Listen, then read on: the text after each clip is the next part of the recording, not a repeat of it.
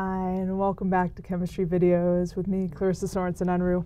We are doing a massive problem today. So we are doing a big stoichiometry problem, um, which has some extra parts as well. We're going to do all the parts as we can. The last video, we did um, the empirical and molecular formula. So let's put a little check mark by that one, because we're done with number one. Woo! Love it. All right, so number two, we need to do. Okay, so number two. Um, if 15 grams of ascorbic acid are now reacted in a combustion reaction, calculate the theoretical yield of each product. Indeed, with number two, we're doing stoichiometry, just in case you were wondering. How do I know that it's a stoichiometry problem? Because I'm given an amount of one thing, ascorbic acid, and I'm asked to calculate products, which if I'm reacting the ascorbic acid, it's a reactant, not a product. So in order to do this, anytime you have stoichiometry, you have to have a balanced chemical reaction. And the key phrase here that I have is that it was reacted in a combustion reaction. So that's going to tell me what kind of reaction I'm doing.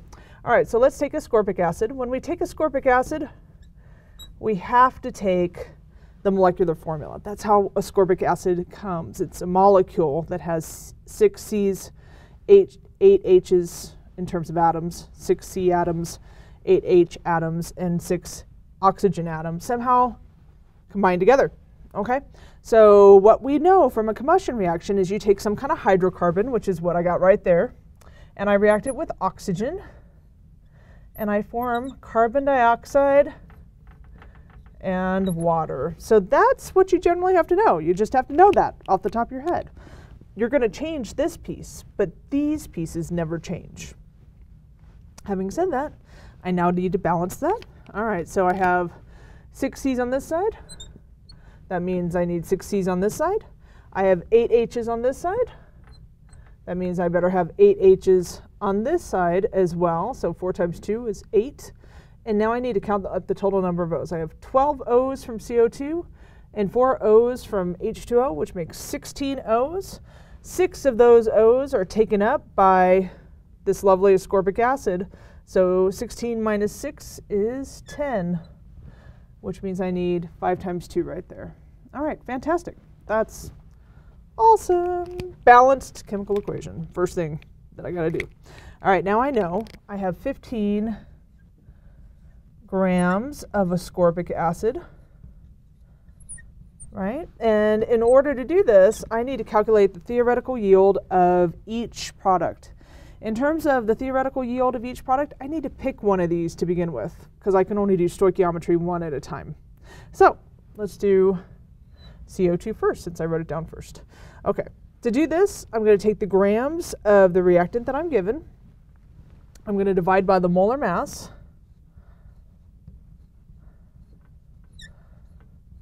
of that reactant, which was given. Isn't that awesome? Love it. And then that gets me into moles. Moles are very important because the ratios, right, the balanced chemical equation has these coefficients in front. That's what these numbers of each reactant and product mean. And those numbers are in moles. So that's why I'm getting into moles first. Okay, so my ratio, now I can set up a ratio between ascorbic acid and carbon dioxide. And I see every time I use one mole of ascorbic acid, I make six moles of carbon dioxide.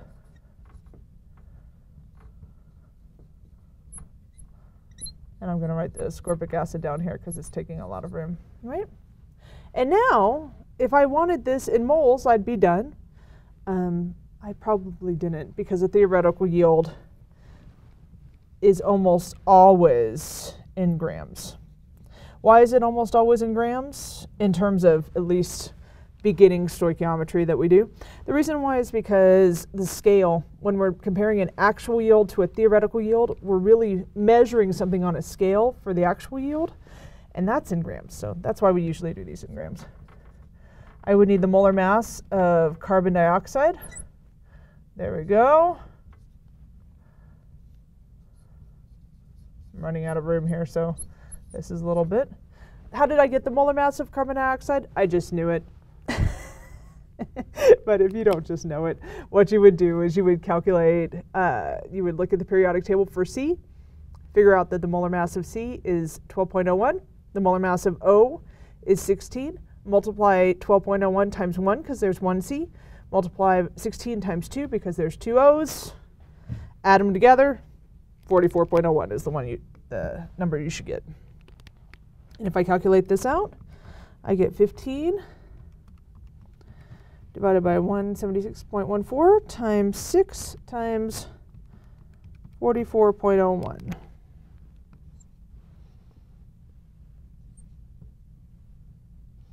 Twenty-two point four nine grams of CO2. Now, what's really interesting here is that I just realized something. I realized that this part of the problem asked for the mass of excess reactant. Well, you can't calculate that if you did what we just assumed, right? So what we had here is we had 15 grams only of one of the reactants. If you only have 15 an amount of one of the reactants, you assume the other one is in excess so much that we don't care. So you, there's no way to calculate the mass of that.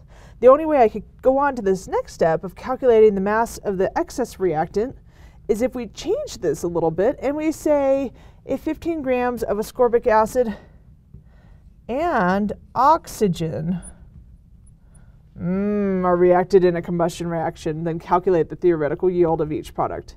If we make this one little change, then we suddenly have two amounts of two reactants. And we can still keep this. We can still say, okay, that one works just lovely. That would be great if I was only given one amount.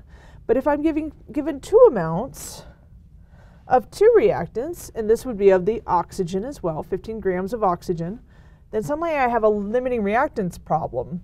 And one of those will be limiting and the other one will be excess. Kind of an interesting turn in terms of this. So let's go ahead and do let's go ahead and do a limiting reactants problem here. Let's assume that I had 15 grams of each of these, right? And I had 15 grams of oxygen as well. If I have 15 grams of oxygen, I'm going to go through the exact same process, but I have to find CO2 again to be able to compare the two numbers that I get. How did I get oxygen's molar mass? I took 16 times 2. That was how I did that. And 6 moles of CO2. Here, the ratio is a little bit different because I want to cancel out O2. So every time I make six moles of CO2, I'm actually using five moles of O2. And then this part is the same. 44.01 grams of CO2 per one mole of CO2. Mm.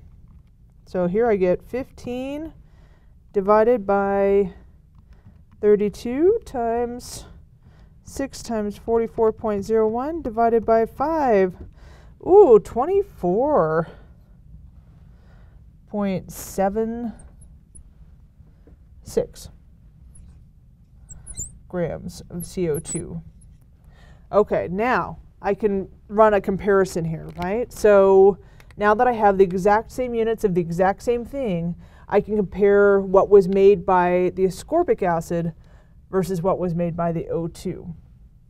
Totally different kind of problem, really, but totally interesting in terms of what we tend to calculate more often. Limiting reactants are more the deal that we usually get in the lab, where we aren't given an amount of one and then just have the other in excess no matter what. We tend to have more than one amount. Okay, so now that I'm in this comparison place, I look at these two numbers. Which number do I pick? The smaller of the two. Woo, there it is.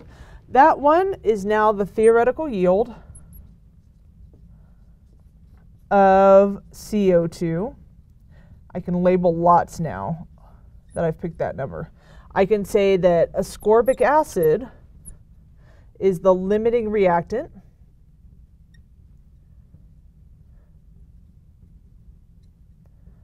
And O2 is now the excess reactant, and we'll be able to calculate how much excess there is. Okay, so even in my wildest dreams, I could not make 24.76 grams of CO2 if I'm only given 15 grams of ascorbic acid. Okay.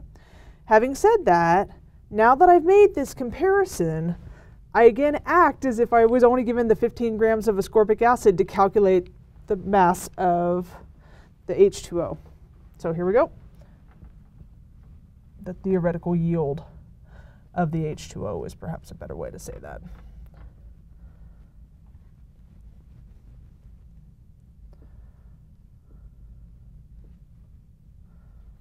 Mm, much more interesting problem that we just created. Not that stoichiometry with an excess reactant isn't kind of interesting, or that this particular reaction might actually lend itself to that kind of deal because combustion reactions are often done on a bench top. And therefore, if they're done in a bench top, then you are just reacting with whatever oxygen is in the air, and that's hard to quantify unless you're adding it in, bubbling it in. But we're going to go with this because I asked C. That's where we are. All right, so there's the theoretical yield of CO2. All right, so let's do the theoretical yield of H2O. I'm going to again start with the 15 grams of ascorbic acid. And forgive me for combining these a little bit, but I'm running out of room in my calculations here. All right, and again, I'm going to divide by the molar mass.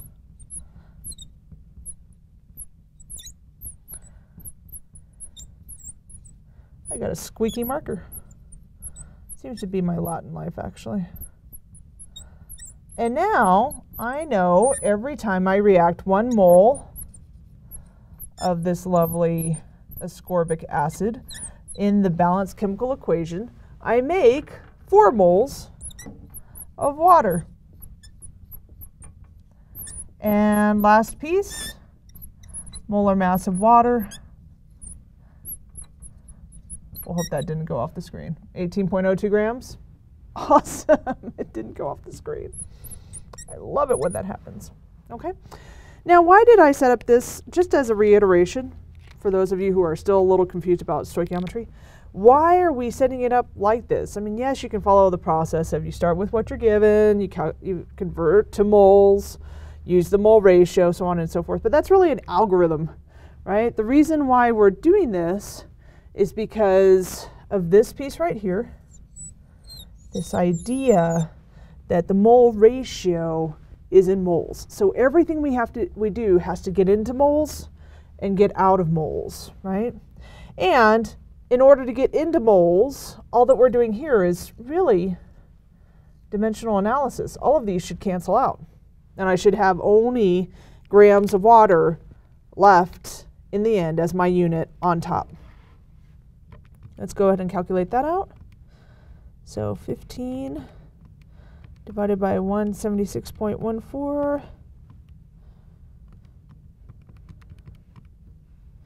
All right, 15 on 4. Yep, sorry, I just was doing something real quick, right quick.